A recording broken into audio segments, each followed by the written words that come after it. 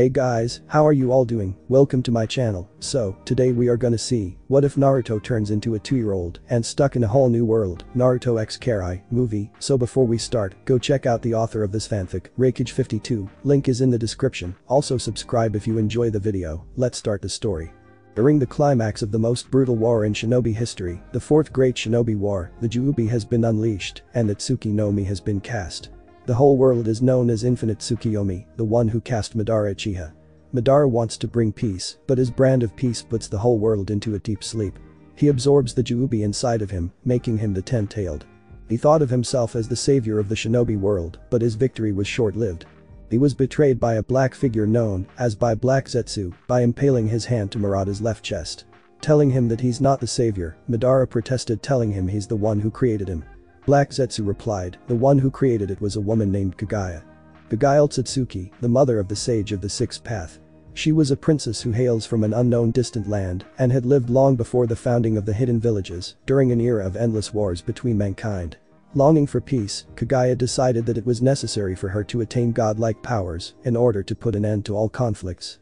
For this reason, she defied the taboo of consuming the fruit of the Shinju, becoming one with the holy tree's power.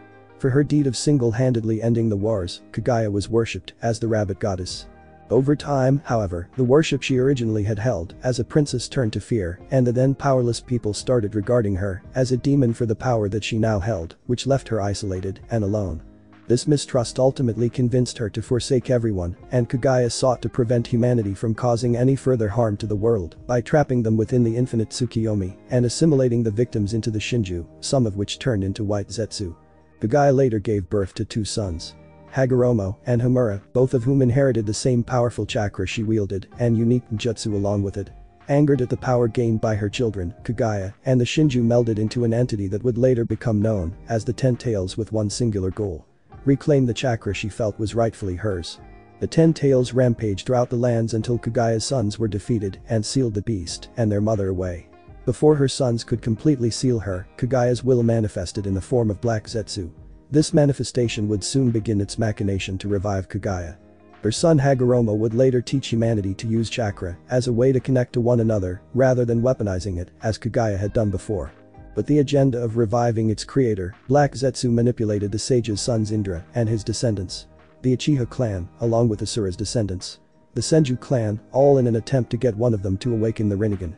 Madara Uchiha would eventually succeed in doing so, and Black Zetsu began secretly manipulating shinobi history events to have Kaguya revived.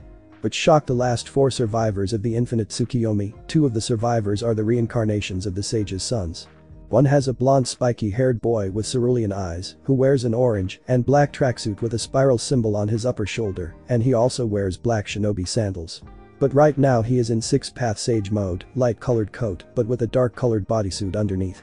Unlike his Sage mode, Nine Tails Chakra mode, and Tailed Beast mode cloak, there is no orange pigmentation around his eyes, his skin does not glow like the rest of his body, and his eyes are yellow instead of orange or red.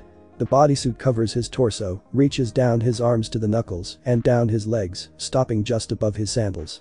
It has a light-colored circle where the original seal was placed, as well as Magatama around his collar.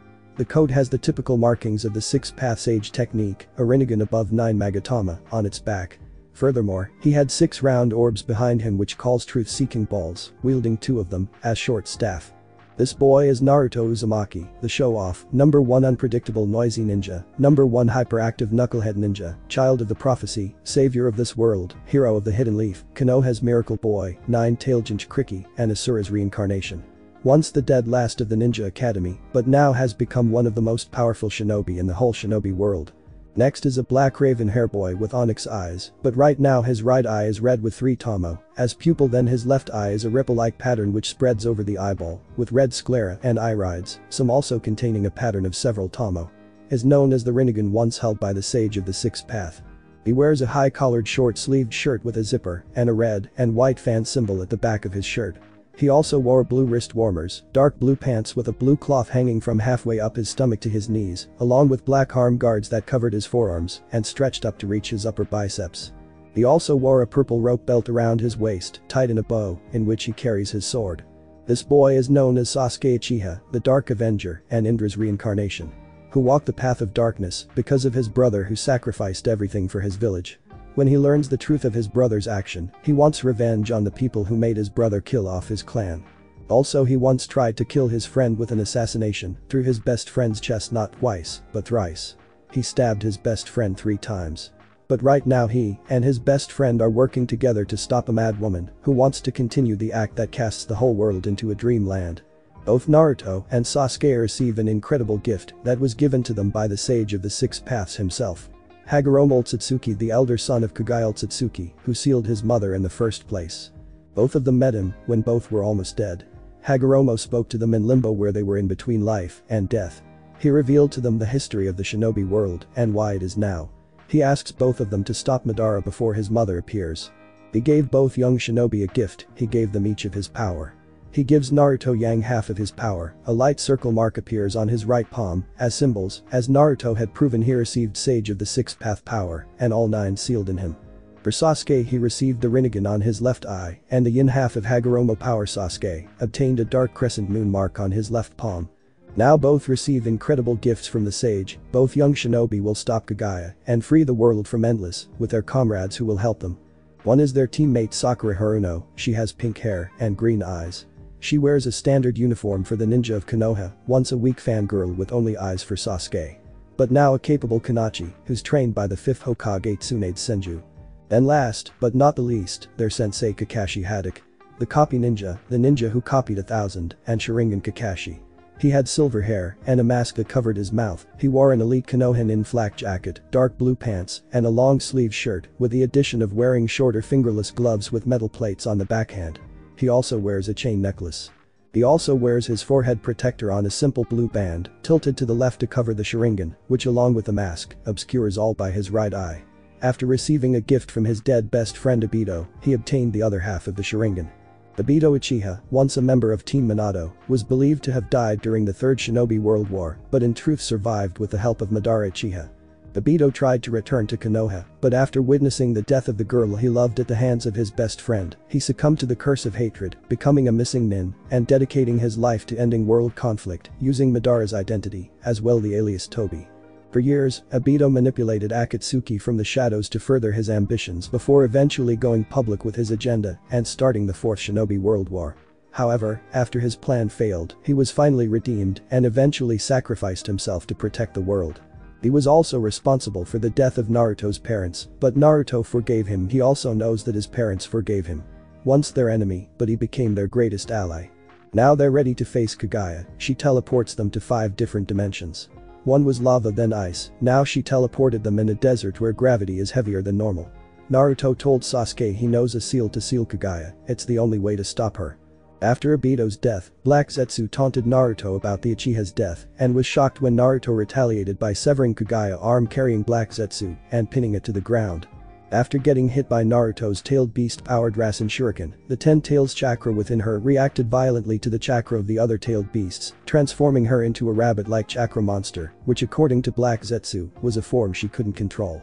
It randomly began launching chakra arms that instantly assimilated whatever it touched, one of the chakra arms was about to attack Sakura. Naruto asks Sasuke to use the Rinnegan to save her, but it seems he won't make it. But a yellow Susanoo saved her, Naruto cheered, but it wasn't Sasuke who did the Susanoo. It was Kakashi who used the Susanoo, he gained the other half of the Sharingan from Obito. But this Kakashi joins the battle he prepares to attack an unstable Kagaya and launch two giant shuriken that are shaped like his Mangekyou Sharingan. He proceeded to warp several of Kagaya's chakra arms away. Despite Black Zetsu's fears, Kagaya ultimately regained control and formed the tailed beast mass into a giant truth-seeking ball. Kagaya regains her control, and Black Zetsu watches at the sideline. Team 7 prepared for quite possibly their final mission. Everybody, we must save the world, Kakashi declared. Yeah. Okay Team 7 agreed. Well then I'm immortal if either of you dies you won't be able to seal me stated Kagaya, whom should I kill? I'm your opponent, bitch. Shouted Naruto. No, we'll attack together. Sasuke counters she'll be less focused because she's scared of being sealed. Both Naruto and Sasuke fly upward at her, but she is a little far from where they are. Kagaya sprouted three bone-like spikes from her back and launched them towards them. But Kakashi saw it and he intercepted it to hit his Susanoo, but one spike impaled him. Black Zetsu smiles mother, you've been doing nothing but absorb energy this whole time your strength and speed vastly overwhelm theirs. When they thought the bone spike impaled Kakashi, Kagaya, and Black Zetsu frown. that the bone spike passed through Kakashi, using his new Sharingan all attack passed through him and unleashed a black lightning on his hand. This really is a great ability, Obito the power let things slip right through you, Kakashi thought and now, I'm gonna be bringing back this technique. He charges at Kagaya with his black lightning and penetrates Kagaya's defenses to land a decisive blow on her right arm. Kamui Raikiri. Mother. Shouted Black Zetsu this is bad, her right arm. From this Naruto and Sasuke charge from each of her sides. Naruto on the left and Sasuke on the right. There's not enough time to open the gateway to escape into another dimension Black Zetsu thought if that's the case he used Kagaya's left arm that was severed from Naruto's attack earlier to open a portal with a bone spike ready to launch. Kagaya saw a small portal on her right thinking Black Zetsu defended from Indra's resurrection. Using her left arm, she launched a bone spike to Naruto precising through him. Suddenly Naruto appeared in Sasuke's place. The one she hit was a clone, while Sasuke hid behind Naruto's clone. Naruto distracts Kagaya with his clones, Sasuke waits for the opportunity to leap into action. Black Zetsu launches his attack in the portal that appears on the right side of Kagaya, where Naruto is. When the attack launches through the portal, Kakashi uses his Kamui to warp the attack and save Naruto. But that Sasuke swaps places with one of Naruto's shadow clones and appears next to Kagaya. Thinking way out, maybe teleported to a new dimension. But all it will just backfire, so the only place she could escape was up. As she escapes Naruto and Sasuke by flying upwards, Sakura dropped into action, declaring that, as women, they weren't supposed to underestimate each other. She then proceeded to send the rabbit goddess plummeting back towards her teammates with a single punch, snapping off one of Kagaya's horns in the process. What? Black Zetsu was shocked, seeing his mother defeated by a bunch of kids. That's picture perfect Kakashi thought right now the way all of you are together Kakashi's eyes smile I like you. Now? Shannaro. Yeah. Team 7 shouted together. Immediately upon contact, Sasuke and Naruto begin the ultimate sealing technique. The six path Chibaku Tensei. Kagaya wonders how she, the ancestor of all chakra, could be defeated by mere fragments of chakra as she reverts back to the demonic statue of the outer path and is encased by the landscape, creating an enormous satellite similar in size to the moon and releasing the two. Before Kagaya seals completely she performs her last, she opens a portal large enough for one person. She grabs Naruto like her life depended on it, will it be? Hey. Let me go bitch. Naruto shouted. You. Destroy everything for that, you will disappear. Kagaya declares. As she drains every last drop of chakra in him, Naruto feels weak. She throws him to her portal and never seen again. Naruto? Everybody shouted. Sasuke immediately thrust his blade through Kagaya's heart before she was sealed completely. Not before Kakashi found Black Zetsu and threw him with Kagaya within the seal. The shinobi world has lost one of their greatest heroes. His name will never be forgotten, the one who put the world together toward peace the child that everyone doubted, but now he inspired them to maintain peace for the shinobi world. That boy's name is Naruto Uzumaki. Drip. Drip. Drip. What's that noise? Sounds like water is dripping somewhere when Naruto opened his eyes, he saw a light shine on him. It was a light bulb that shone on him. He looks around his surroundings, he sees a green wall with moss on them. Then he notices a smell, where he is. Bunu, what's that smell? It stinks around here Naruto thought okay, green wall with moss on them, funky smell. It seems I'm in a sewer, just great, simply great. He noticed that his body feels different. He could tell it was much weaker and that he was naked. What the hell? Why am I naked? And why do I feel like I want to pee or something? Naruto tries to lift his arms, when he looks at his hand he notices a chubby baby's hand. When he realizes what happened to him, he freaks out. What the fuck? Why am I a baby again? He tries to recall something before he was here. His thoughts were cut short when he heard a sound. Okay calm down, let's recall. I'm in a freaking sewer, I don't feel any chakra nearby, especially in me, and I turn into a freaking baby. And I want to pee. Okay, maybe Kurama can help me, Naruto thought. Kurama he called the fox, but got no response. Naruto remembered something, that Kuruma and the others were released before Kagaya was sealed. Oh yeah, Kurama is not in me anymore Naruto thought sadly, that Kuruma is not in him anymore. It's kinda lonely without his fox fuzzball friend. Kuruma will probably yell at him for being depressed because he's not in him anymore. Naruto thought maybe this situation won't be so bad, maybe he can make this work. He can still be, yeah positive, think positive. Naruto tried to move his body, but couldn't. Damn it, now what? When Naruto was about to do something, he heard footsteps. What's that? The footsteps started to sound louder. Maybe somebody is here, I'm here. Somebody help me. Naruto cried like a baby, the footsteps stopped, then it moved again. Yes. over here. Help. The steps become closer and closer. Then a shadow figure steps out from the corner, Naruto's eyes widened. What he saw was a gigantic rat wearing a monk's robe when the rat turned its head to Naruto and started to approach him. The giant rat. I don't want to be eaten. Naruto cried, the rat approached and looked at him for a moment. Then the rat grabbed him and held him up high. Please don't eat me Mr. Rat, I'm too young to be dead, literally Naruto thought he was about to be eaten, but he felt warmth wrap around him. Don't worry little one. It's okay everything will be fine, I'm not here to hurt you, said the giant rat. Naruto calms down and looks at the rat's eyes. He saw wisdom behind those eyes and fatherly warmth in them. The rat looked at the young baby's eyes for a second. He saw a hardened warrior with so many burdens he carried, a strong spirit, a will that will never break. But then it changes into something warm like a shield to protect anyone, and an aura that's bright like the sun. The rat shook his head, then looked at the baby again. Okay, what's a cute baby like you doing in a place like this? Naruto looks at him with a fake confused look, maybe you were abandoned. Naruto frowns from that, the rat rubs his chin thinking what the best course of action is. The rat thought for a moment, then he smiled at the blonde baby. Would you like a family? Little one said the rat, Naruto giggles he always wants to have a family. He never had a family in his early days when he was still at Konoha. So, for now on you will be my son, and you also have some brothers too, said the rat with a smile, as he held Naruto up high. From all excitement Naruto's pee leaks and gushes out on the rat's cloth. The rat frowns that the baby blonde pee on him, he looks at Naruto's relieving face. The rat sighs yes, you will fit right in. What? Can you blame me, I'm a baby Naruto smirked mentally at the rat. Oh, I forgot I am Splinter, said Splinter, the baby nodded. As if he understands. What will I call you? By coincidence a ramen cup drifted along the sewer line and Splinter picked it up. He looked inside the empty ramen cup but it wasn't empty. The only thing in there was a fish cake. Splinter smiles well, little one I will call you. Naruto, how's that? Naruto giggles and smiles at him. I take that as a yes, said Splinter with a smile on his face. Come now, let's meet your new family said Splinter as he walked back to his home with Naruto in hand. It has been 8 years now, and a 10-year-old Naruto was stuck in this world. At first he thought he was in the same world where he came from, but after he discovered a few things about the current world. For instance, technology here is more advanced than his world. He soon realized that he's not an elemental nation anymore.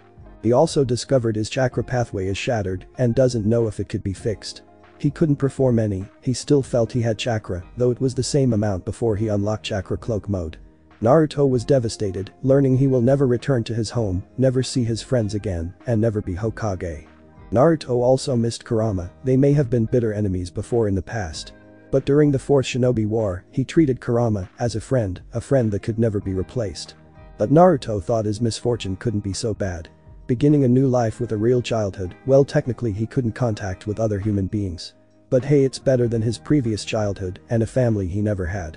Speaking of family, Naruto is the oldest of his newfound brothers by one year, and they're turtles. Naruto couldn't really complain, he loved his brothers very dearly. The brothers look up to him, he is the oldest after all, and he is slightly taller than the turtles. Second oldest is Leonardo, the blue bandana turtle. He can be a little serious at times, cool, and level-headed. A good leadership quality, he always asked Naruto to help on his ninjutsu. Then there's Raphael, the red bandana turtle, and the third oldest roughly the same age as Leo, Raphael can be brash, but loyal, easily tempered, and sarcastic at times. He maybe hides his true feelings toward his brothers, but Naruto can't see it through. Raph had the most love in his siblings, he was willing to do anything to protect his family. Sometimes when Raph thinks he is not strong enough, Naruto always cheers him up and tells him he is not weak. Then there's Donatello, the purple bandana turtle, and the second youngest of the siblings. Donnie is the smartest of the group, always tinkering on his gadgets, sometimes that habit gets in the way of his training. Naruto doesn't have a problem with Donatello investing more than training, but sometimes he pranks him so could train a bit more.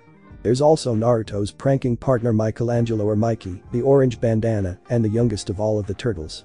The immature one of the group Mikey doesn't take anything seriously sometimes. But that makes Naruto and Mikey the closest, he's like Naruto.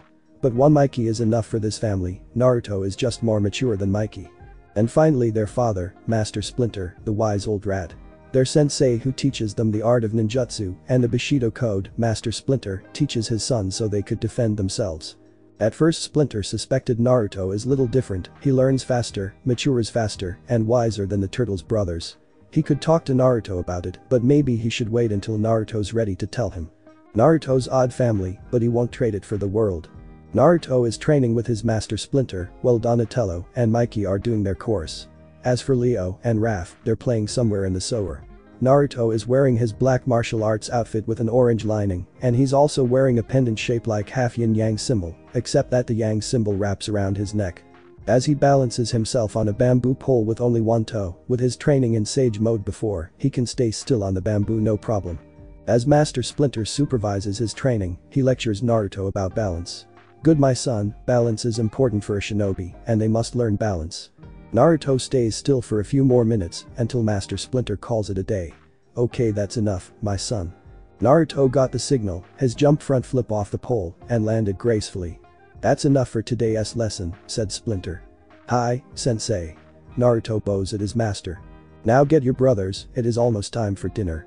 Naruto nodded and went outside of the lair to find his brothers. Now where are those two? Naruto talks to himself. When Naruto reaches a closed up section of the sewer, he sees the section is not so closed up anymore. Naruto went to investigate, as he walked inside of the tunnel he heard a roar. He quickly rushes towards the source. When Naruto reached the end of the tunnel, he saw Raphael get trashed by a huge white alligator while Leo stood there. Could I offer a strategy tip? said Leo. No, as Raph dragged down to the water then resurfaced again, I got him on the rope, he's right I want him. Naruto facepalmed, why does Raph have to be stubborn? When Raph gets slammed onto the wall, Naruto immediately grabs a nearby long stick and rushes towards him. Raph! cries Naruto. Naruto Leo was surprised by the sudden arrival of his brother. Raph groans and looks up, the huge alligator is right in front of him and ready to eat him. As Raph was about to be eaten, Naruto shoved the stick into the gator's mouth, preventing to close it. Leo. Naruto calls out Leo. Right, Leo leaped toward the top of the gator and pressed his finger somewhere in the jawline of the gator, making it fall asleep. What do you do? What do you do? questioned Raph. Pressure point as Leo hopped off the gator's head. Pressure point? asked Raph as Leo was about to answer Naruto's answer for him. Sensei taught him and Naruto stood behind them with a stern expression. He, oh hey Naruto. Raph chuckled nervously along with Leo. Why did you two go in here? It was dangerous, you know, Naruto scolded them both. We're sorry, both hang their heads down, Naruto sighs. That's okay, Naruto smiles, as he patted their head. The important thing is that you're safe. Now who still wants to follow the leader? The turtles got confused. As the leader, follow me back home. Naruto took off, the two brothers looked at each other and smiled. They raced to catch up to Naruto. Hey. Wait up. Wait for us. Hey. Slow down, all three of them laugh as they race towards home. Just another day in Naruto's new life. Weeks passed, the brothers stuck inside their home because of the rain and caused the sewer to overflow with a lot of sewer water. Every turtle and human doing their own thing. Raph was taking a nap, Donnie was building some kind of remote-controlled toy race car, Naruto was training on his own, and also Leo was training in his katas, while Mikey listened to music. Until Mikey decides to mess Leo around, Mikey smiles deviously. Hey, Leo, did you see my game guy anywhere? But Leo didn't respond, his concentration was impressive, he stayed still, not even blinking. Hello Mikey waves his hand in front of Leo, but still no response. He tries to make a funny face, at least it changes Leo's expression, but still doesn't respond. Mikey hated to be ignored, he tried to blow a balloon, then popped it in front of Leo. But Leo didn't even flinch, Mikey got frustrated, then put funny glasses on Leo, and showed them to him in a mirror. Still no response, then Mikey pulled out the big gun. He held two whole onions, he tossed them in the air and put them into his mouth. He then ate it and then belched on Leo's face. Same, as before no response, Mikey grit his teeth if Leo didn't laugh how about he say ouch. He brought out his nunchaku when Mikey was about to hit Leo, Naruto entered the room with a pie in his hand. When saw the scene he raised an eyebrow. Mikey, what are you doing? asked Naruto. Trying to make Leo laugh. That's not how to make Leo laugh, said Naruto. Oh, how would you make him laugh then? Like this, Naruto quickly tosses the pie on Mikey's face, with that Leo starts to snicker then full blow laugh. As he saw Mikey's entire face covered in pie, Mikey licked his face. Blueberry. The three brothers laugh. Just another day in Naruto's household. Days passed after the heavy rainstorm, the sewer was overflowing with debris and it was clogging up the tunnel. Donnie finished his remote-controlled car and showed it to Leo and Naruto. He asks if they want to see it go. Leo declines because he has some more training to do, but Naruto agrees to see it run. Donnie smiles and drags Naruto outside the lair, Donnie shows off the performance of his toy car. Check out the turning radius of this thing, Naruto. Said to Donnie as the toy car kept on going until it made a sharp U-turn and fell into the edge of the water. Donnie winces. Remind me to never let you behind a wheel from a real car, Naruto stated. Hang on, I'll get it. Donnie ran towards his toy car, he grabbed a stick and tried it to get his toy. He was about to get his car until a large debris knocked it further and made Donnie fall into the water. Donnie? Naruto cries as the water drags Donnie into a small waterfall. As Donnie fell into the water, his foot got stuck on large debris. Naruto? Donnie tries to move, I'm stuck and I can't get my leg free. Naruto? As the water kept on rising, Donnie shouted again. Naruto? Until he was completely submerged in water. Naruto dove into the water, he saw Donnie about to lose consciousness. Naruto quickly grabbed the wood that Donnie got stuck on off of him, he grabbed Donnie and pulled him to shore. They got onto shore, they painted, and Donnie asked, what, you didn't get the car? Naruto gaped and whacked Donnie on the noggin, seriously? Naruto glared at him. Donnie laughs nervously, he, sorry. Come on, let's go home. Both Donnie and Naruto stood up and walked back to the lair. Should I build a remote control boat next time? Donnie smiled weakly until Donnie got whacked on the head again. Donnie rubs his head. Another normal day. Weeks pass, they run out of food and supplies. Master Splinter, Naruto, and Leo travel around the sewer to gather food and supplies. Both Splinter and Naruto have a conversation while Leonardo trails behind, so he couldn't hear what they were saying. Sensei we should get some real food from the surface, Naruto insisted as he picked a few supplies and put it in his garbage bag. No Naruto, the surface had a lot of dangers. Said Splinter as he grabbed a good pile of wood. You know I can take care of myself, Naruto snorted. Yes I know, but your brothers may follow you. Sensei, I can be right back. Naruto picks up an old rusting shove before they notice I'm gone. Splinter put his hands on Naruto's shoulders, Naruto you're their big brother, they look up to you. They may follow you to the surface and get hurt, I know you won't like that. Naruto pouted, but sighs after, I know sensei, Naruto looks at his sensei, but at least let me go to the surface near a convenience store, so I can get some instant ramen, some pizza, and some fruits and vegetables, so we can use the seeds to grow our own. Splinter thought for a moment, but ultimately he sighs. Okay, just because you're good at stealth doesn't mean you won't watch out for anything dangerous. Splinter warned Naruto, don't worry. Naruto gives out a thumb up, I'll be careful. After you said that, for some reason it makes me even more worried. Splinter deadpanned. Hum my sons, there are more useful items on the upper level. As he signaled his sons, he climbed the ladder. Leo grabbed some kind of old box and put it in his garbage bag. When Leo reached the ladder he looked up and gulped. Leo's legs shaking from fear, Naruto grabs the shoulder and smiles. Come on, Leo, if you fall I will catch your promise. Leo relaxed a bit and nodded, he started to climb while Naruto was behind him. This tunnel stretches for miles in all directions, said Splinter, to avoid losing your way, you must stop and observe your surroundings carefully. Leo looked up and down, as he looked down he saw how high he was. His legs started to shake till his entire body shaking. Come on, Leo, we're almost at the top. Splinter calls out Leo. I can't. Leonardo you must. Leo. Leo looks down at Naruto with an encouraging smile, don't look down, look at sensei, and only sensei. Naruto tried to encourage Leonardo more, give me your bag. Just focus only on sensei, take a deep breath and release slowly. Leo nodded as he gave his bag to Naruto, he looked at Splinter and took a deep breath and released it slowly. He slowly started to climb. Thus don't look down on Leo, no matter what. Said Naruto with an encouraging tone. Leo continues to climb up, slowly. When he reaches the top, Splinter grabs his hand and pulls him up. When Leo finally landed safely, he started to tear up and hug Splinter tightly. Splinter comforts his son, as Leo sees Naruto reach the top he quickly tackles and hugs as he sobs on Naruto's shoulder. It's okay, Leo. Naruto comforts his brother, everything will be fine. Leo continued crying on Naruto's shoulder. Weeks follow, Naruto and Splinter decide to train Leonardo to get over his fear of height by slowly building his confidence. They started small bamboo blocks for Leonardo to stand on, they blindfolded him in the second week. Week by week, they increased the height of the bamboo blocks until it is high enough. Now my son, remove your blindfold. As Leo removed his blindfold, he saw he was so high up he lost his balance and fell on the safety mat below. Splinter shook his head and Naruto sighs. Until Naruto gets an idea, he and Splinter discuss how Leo can get over his fear. Two days later, Splinter, Naruto, and Leo went to get food and supplies in the upper level again. Naruto suggests they go to a shortcut so they go topside faster. When they reach the end of the tunnel, Leo's fear resurfaces as he looks down on just how high they are. We must continue on Leonardo, said Splinter as he started to climb on a very rusting pipe. I'm on Leo you can climb on my back if you want. Naruto also started to climb the rusting pipe. You two go ahead, said Leo with a shaking tone, I go around the long way. That will take hours Leo. Said Naruto, as he climbed the pipe, the pipe started to tilt from the weight from Naruto and Splinter. That's okay, I could use exercises. As both Naruto and Splinter reach higher the pipe tilts further until it is bent like it is about to snap. Splinter was about to fall until Naruto caught his hand, while his other hand hung on the pipe they're hanging for dear life. Master Splinter. Naruto. Leo cries.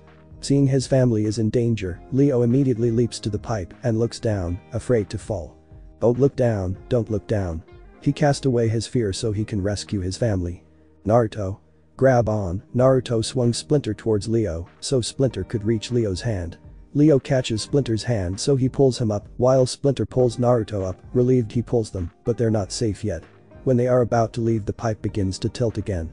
We won't make it in time, Leo cries. So we make our own exit, Naruto pulls out a grappling hook and tosses it onto a steel bar. Naruto gives it to Splinter, he puts Naruto on his left shoulder and Leo on right. They swung across into a tunnel and landed safely. But you two could yourself at any time, asked Leo. Of course Leo. But without that you wouldn't face your fear, Naruto explained with a smile, while Splinter smiled too and nodded. Come my son, let's gather our supplies, Splinter insisted as he walked past them. Hi Master, Naruto, and Leopo, as they catch up to their master. Same old, same old day for Naruto's family. Months pass, the brothers start to suspect Naruto has gone to surface every time he runs an errand for Master Splinter. Master Splinter always told them never to go to the surface, but they ask each other why only Naruto went topside. Why couldn't they? Well, of course Naruto is a human. He can blend in better among humans, but that won't stop their curiosity. One day they saw Naruto leave the lair and headed topside, he was asked by Master Splinter to get some food from a nearby convenience store. The turtles followed carefully when they saw him climb up a ladder that led to the surface. Naruto opened the lid and exited the sewer, the turtles waited for Naruto to leave. When Naruto had gone to the convenience store, the turtles immediately climbed the ladder and opened the lid. Unfortunately they weren't strong enough to open the lid, despite Naruto's size being stronger than the turtles. Unable to open the lid, they stop and try again next time. Another month passed and Naruto went to the surface again. Once more the turtles follow him again, with their strength training this time they open the lid. No cutting in, Raph protest. So, move your big fat shell. Mikey shot back. When they got outside for the very first time, they were astonished how big and beautiful the outside world is. Well if you could count the garbage can, a garbage-filled dumpster, trash everywhere, and the rotting foods. So yeah, this was beautiful compared to the sewer. It's amazing, all this opening space. Said Leo with awe in his voice. Man. Master Splinter and Naruto have been holding out on us, said Raph, as he marvels at the scenery. It's it's beautiful. Raph couldn't describe the wonder of the outside world so, Donnie finished for him. Right around the corner, two preteen boys were about to go home. Until they spot something that makes them worry. There were a couple of kids playing street hockey on the street. It's Danny Donna and his wolf pack, said the short blue hair and glasses kid named Stevie. He is wearing a snow cap, a light blue short cut sleeves hoodie, brownish baggy pants, and blue sneakers. Man, those guys think they own the street. Said the slightly long blue hair kid named Arnie wearing a red loose t-shirt and blue baggy pants with red sneakers. How come they're gonna play in front of my steps Stevie? asked Arnie, the same apartment that also has a convenience store right next to it. As Naruto grocery shopping behind the window of the store, never realized what was happening outside as he was busy shopping. How did he get money to buy all the stuff he needed there? Sometimes there are some lost wallets floating around the sewer, he picks them up and uses the money for food and supplies for his family. Now returning to the two boys. I can help you, as Stevie declares to help his friend, we're standing up to them. Until he looked at them he gulped, maybe. I like that too, they beat the shit out of us. Arnie admits, you go on around and go home, I'll be okay. Be careful, I'll see you tomorrow. Stevie said farewell to his friend. As Arnie calmly walks up to his apartment until the bullies notice him and approach. Hey guys, it's Arnie Dork. You forgot to pay your toll yesterday. They demanded their rent fee from Arnie as the leader kept on shoving on him. This is our street. I don't want any trouble, said Arnie. Well you've got trouble, don't you guys? The bullies started to surround Arnie, when the leader was about to hit him, Arnie made a break for it and ran as fast as he could. The bullies follow suit as they pass by the convenience store. Naruto was about to pay the clerk when he saw Arnie being chased by the bullies, Naruto immediately paid the clerk. Keeping the change, Naruto bolted out of the store with his shopping bag in hand, leaving a confused clerk. While the turtles play King of the Hill version of trash. I am Raphael's King of the Trash. Raph shoves Mikey and kicks Donnie as he still retains his title until Leo flip him over and declare him the new king. Sorry Raph you're the trash, I'm the king.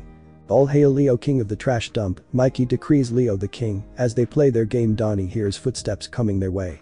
Eyes.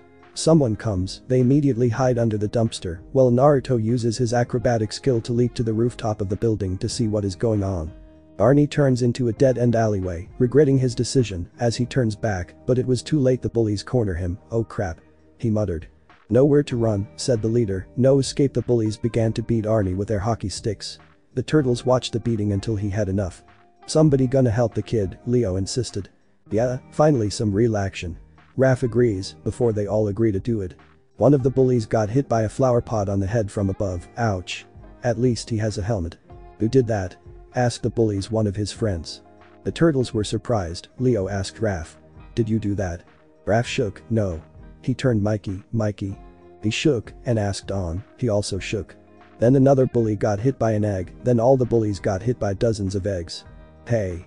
What the, the leader got hit on the head by egg, when look at the sky another hit on his face, and other stuff started to fall down. Flower pots were dangerous if hit you got hit on the noggin from high up, of course, the one who throw it never hit the bullies, other stuff fall on the mar, some tomato, fruit, and vegetables. Let's get out of here. The bullies flee like chicken, the leader glares at Arnie before leaving. Next time Jones. The one who threw the food was Naruto, he sighs. There goes our food, well at least I save our instant ramen and microwave pizzas. The turtles and Arnie were confused what just happened earlier. They shook it off and forgot what happened. As Arnie leaves, the turtles decide to teach the kid how to defend himself. They disguise themselves with a red cap, brown jacket, tan yellow long sleeve t-shirt, blue baggy pants, and cerulean sneakers. The one up first is Leo, as turtles discuss their plan to teach the kid. Up above Naruto listening to their plan, he sighs. This will not end well. Naruto saw Leo approach Arnie, saying he shouldn't be a bully and it's all about honor.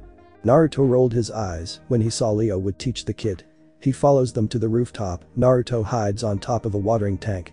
Leo and Arnie sat down in the lotus position as Leo talks about the importance of focusing the mind. First of all, you have to be serious about wanting to change things. Said Leo, you have to feel the power. Connect with the power. Find your inner core. Your honor. Your true heart, have you found it yet? I don't think so. Ah, little dude, I can't feel my legs. Arnie can't focus, and the position makes his legs go numb, but he tries his best to obey Leo's instructions. Naruto facepalms as continue obverse them. When Leo told Arnie to mediate, he left for a moment, which was then Leo switched one of his brothers. Naruto waited to teach Arnie, and he appeared later. He observes them a bit more. When Naruto saw an orange bandana, it seems Mikey turned. Ready for more learning? Well, trying to be serious, breath, and stuff to find my inner strength like you said. Said Arnie, but it kinda makes my head hurt. What are you kidding me? Mikey exclaimed, get up, get up. Forget all that baloney, but the first and most important lesson is this. You need the right attitude. Arnie blinked in confusion, and part of having a winning attitude is having a cool battle cry, a heroic superhero kind of battle cry. As Mikey goes, do a superhero pose, like in the comic books. Naruto groans, while Arnie blink again in confusion. I got it, Sama.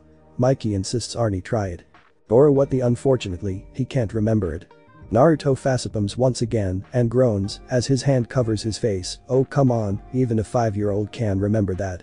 It's Goro-sama, it's mean Mr. Thunder. Goro-sama, it's perfect for you.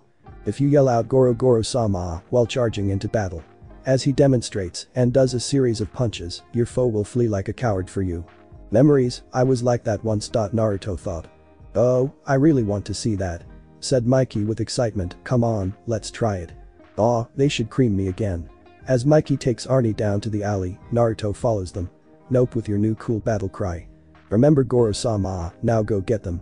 Mikey playful punches onto his ribs and encourages him to do the battle cry toward the bullies, who are playing street hockey. Goro Goro Rama. Arnie forgot the battle cry again, the bully spotted him and confused what he was saying, but they didn't care they rushed forward and beat up him again. Oh, that gonna hurt in the morning. Naruto commented on the rooftop so he could get a better view. A moment later, it's Donatello's turn to try to teach Arnie. While Naruto still hides in the same watering tank. Naruto's eyes twitch, Donnie teaching him chess. Naruto understands what Donnie is doing, but he got it all wrong. Arnie is not serious as Leo, he is not unpredictable like Mikey, he definitely not smart as Donatello, he could be like Raph more of a brawler. All that Arnie would need is someone that teaches him correctly in the right order of things. But for now it's not doing much of a good job. It's important to really think your actions through, it's like a game of chess where you have to be thinking three or four moves ahead of your opponent, planning to know what's coming. Donnie explains that Arnie plans his strategies ahead of time, but Arnie struggled with the complexity of the game, Donnie waited patiently for Arnie to make a move. 30 minutes pass, Arnie hasn't made a move. Both Naruto and Donnie fall asleep till a bird lands on Donatello's head. He wakes up and decides to leave, switching with Raph now. When Arnie spoke Naruto woke up and saw its Raph turn. This gonna be good Naruto thought. I have been studying abroad like you said, but I still don't get it. I like Horsey though, I try to think it through, but I don't know. Seriously, I knew shogi when I was his age Naruto though. Listen, pal, the first and most important lesson is. Never think. Never. Just act and react and always attack. Said Raph. I sure wish you make up your mind. Be serious, use your battle cry, think it through, and next never think, I don't get it. Arnie complains and wishes that his mentor would make up his mind on how he should behave. What you need is a weapon. It's all about the weapons. Raph insists, we need to find you some kind of weapon. They look around if there is any weapon lying around. Raph got a little frustrated until Arnie looked at the board. So they decide to use the chess piece for a weapon, Raph sets up some cans and tosses the game pieces at them, knocking them all down. Raph hands Arnie some chess pieces, you try. Hey, said Arnie weakly, he throws the game pieces, but they hit the ground, rebound off the wall, and come back to pelt the youths. Maybe you need a better target. Let's do what you do in combat. Oh boy, not again. Dot After Naruto hears what Raph said, Naruto follows them. Raph leads Arnie back to the streets and tells him to attack his enemies with chess pieces. Arnie hesitates, but approaches the thugs and throws the chess pieces at them. The projectiles missed by a mile, and the result got beat up again. After getting beat up again, Raph returned home before Master Splinter noticed he was gone. Arnie returns to the rooftop waiting for his mentor. Arnie sighs, I won't be strong ever. When a shadow overcast behind him, he turned around expecting his mentor. But instead he was greeted by White Fox Mask Boy wearing an orange hoodie, slightly taller than his mentor. You seem troubled? asked the Fox Boy. You can say that, said Arnie, as he sighs, I just don't get it, I try what the Red Hat Kid said. But everything backfires. Maybe, I should give up. So, you give up like that? You're weaker than I thought. The Fox Boy mocked Arnie. Arnie got angry, they're stronger than I am. That's not an excuse to give up, Fox Boy stated, will you be bullied forever, will ya? Arnie muttered as he clenched his fist. What was that? I can't hear you. I said Arnie muttered again. What? Again can't hear you? I said no. I won't be bullied ever again. Arnie cries. But Fox Boy nodded. Would you teach me how to fight for real? Asked Arnie with a nervous tone. No, Arnie hung his head down in sadness. But I can give you advice, Arnie lifted his head up, you can only be strong when you want to protect something. Protect something. Arnie got a blank expression, like what? You're precious people. But. Before Arnie asked more, the fox boy disappeared. Arnie looks around, but the fox boy is nowhere to be seen. He scratched his head in confusion a few moments later. All four turtles are in the alley, but only one Leo is disguised and visible. Okay, let us try out everything that you learn to face your enemy. Leonardo urges Arnie to take all that he's learned and fight the bullies. But you make faces my enemy twice, they beat shit out of me both times. Arnie complains that he's already been beaten up twice, but Leo prods him into trying. I did. Well try it again, but use everything you've learned. Leo pushes toward the bullies. So? You think he learned everything? asked Mikey. I hope, I mean you taught him basic self-defense, right Mikey? Leo asked Mikey how to kick and punch, Leo pointed to himself, I cover inner strength. I didn't teach him any fighting skills. Said Mikey, I thought Raph was gonna do that. I didn't, Donnie did you? Oh shell. They looked at Arnie, he got beat up again. Okay, we're gonna start over, but this time with the real basics. Said Leo. Right. Or, as Master Splinter would say a foundation of a house must start strong, as Mikey does Master Splinter impression, a shadow looming above him he shrieks. As the three other turtles turn to see the shadow looming over them, they find their furious sensei in front of them. Master Splinter. Naruto was on the rooftop watching his brother get scolded and ordered to go home. When Master Splinter turns his head to look at the rooftop, Naruto disappears. Naruto Master Splinter thought. Arnie walking alone down the sidewalk. I just told that kid with the red hat the training isn't working. He approaches his apartment building, he sees his nerdy friend Stevie getting bullied by the same group of thugs that have been beating him. Oh, are you gonna cry? Hey look he's gonna cry. The leader taunted his friend. Hey. Give it back. The boy named Stevie tries to get his book back. Stevie, when Arnie saw his friend get bullied, he got enraged. Protect your precious people. Oh what you gonna do about it? Said the leader until he cried when he looked at the source. He saw Arnie charging at him with rage in his eyes. Arnie gives him hard punch to the face knocking over to the ground. The other two bullies got angry and charged at him. When one of the bullies swung his hockey stick, Arnie ducked under. Making the bullies hit his fellow bully, and then Arnie grabbed the bully's hockey stick, then elbowed him to the gut follow up with a backhanded punch to the face knocking him down. When Arnie looks at the fallen bully, the leader sneaks from behind trying to hit him with a hockey stick. But when the leader was about to hit Arnie, Arnie saw it, so he blocked it with the hockey stick from the bully he knocked over. The leader keeps on hitting him, but Arnie always blocks it. Until Arnie disarmed him and hit his feet, making the bully leader off balance. When the other bullies saw their leader fall down, they got scared so they ran away like chickens. When the leader saw Arnie's angry face, he ran away too, running with his tail between his legs. That's right. You better run, you bullies better watch it cause Arnold Casey Jones let any of you push nobody around no more. Casey declared to his bullies. Gor Gor Gangala Gangala. Casey cries his battle cry. Wow, Stevie is impressed with his friend's newfound fighting skills, Casey gives his book to him. Come on Stevie I walk you home, the two buddies walk off, finally feeling confident and safe. At the rooftop, Naruto saw everything. He chuckles when the kid faces his bullies, only thing to do is get grocery again. Naruto? Naruto's eyes widen, he hears something familiar. Kurama. Five years have passed, as a 15-year-old Naruto was attending his garden well, it's both his and Master Splinter garden that grows inside the lair with an artificial heat source built by Donatello, they're the only two who like gardening. His appearance changed a bit, his hair had grown a little longer, almost reaching the back of his shoulder, and had two side bangs on each side of his face. Almost a perfect image of Minato, his father, his height was still the same when he was still in the elemental nations of being 166 centimeters, still slightly taller than his brother. Five years have passed since Naruto discovered that Kurama is still inside of him, but not what he had expected. This Kurama is not the Kurama he knew. This Kurama is the other half of Kurama, the yin half, the one inside his father before being transferred onto him. When all of the tailed beasts had gone inside into Naruto, both Kurama halves didn't merge into one, it's decided they will merge back into one after the war. But they never got the chance because Kaguya hurled Naruto into a different world while his chakra was sucked into Kaguya. Naruto was a bit saddened that this is not the Kurama he grew to know, but his acceptance towards this Kurama was nonetheless. Naruto and Yin Kurama discussed how his chakra could be recovered. Yin Kurama answered yes, but it will take a decade or two to fully recover his lost chakra, and also Yin Kurama also needs to sleep a couple more years. He also needed to recover his lack of chakra in him, Yin Kurama suggested Naruto to learn the 8 inner gates, while his chakra recovered. Sure, that is a little overkill, but it won't hurt to learn it, you could never be unprepared. Yin gave Naruto warning, once he got his proper chakra level back. He would have to relearn chakra control again, Naruto groaned in response. Naruto sighed in defeat, when his chakra returned to normal he had to relearn everything. Yin had gone deep into Naruto's subconscious to review Naruto's life, Yin now understood why Yang Kurama saw Naruto with great respect. He saw the hardship, the struggle, and the bond that Naruto forged in his life. Yin Kurama gave Naruto the respect that the Yang Kurama had given him, saying their goodbye. Yin Kurama soon went back to sleep, leaving Naruto to train even harder. For the past five years, Naruto tried to learn the eight inner gates. Unfortunately, he learned to open only two gates. Naruto gave Rock Lee great respect for learning five gates in only two years.